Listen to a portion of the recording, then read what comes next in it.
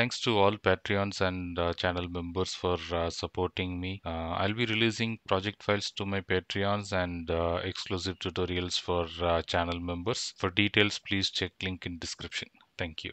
Hello everyone, this is Mr. Whiz. Welcome back to my channel.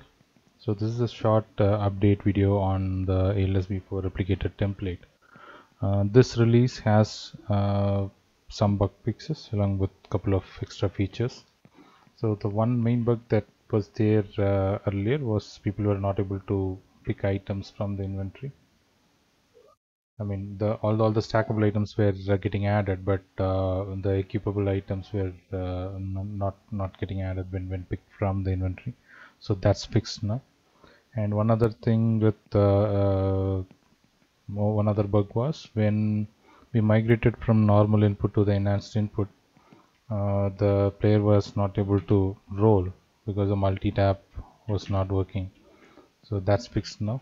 So player can uh, multi-tap uh, alt key to roll and uh, single tap to uh, crouch and prone so that's fixed now then uh, new features on this version is uh, I've added replicated slide so that's one thing and I've added the ADS so single right click and hold will go to the normally. Double right click and hold will go to the ADS so that's one thing.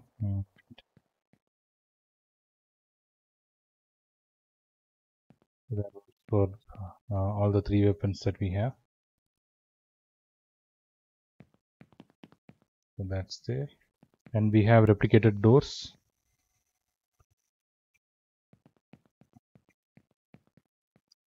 we have open and close option. But it's it's completely replicated like people uh, other players can come and close door and do the things.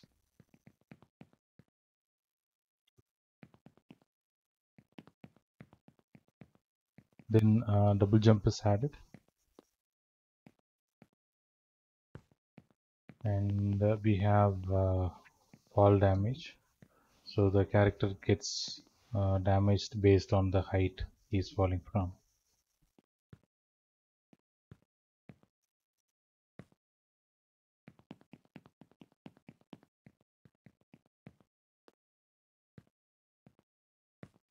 And minor uh, bug fixes here and there which were reported uh, when the last uh, version was released.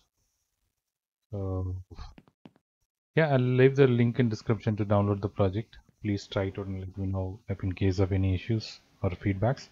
If you are reporting any bug uh, please reach me via discord. Uh, dm me not on the group. Dm me on the discord with the details of the bug. Like uh, what's causing causing the issue base for me to uh, rep, uh, reproduce it on my project.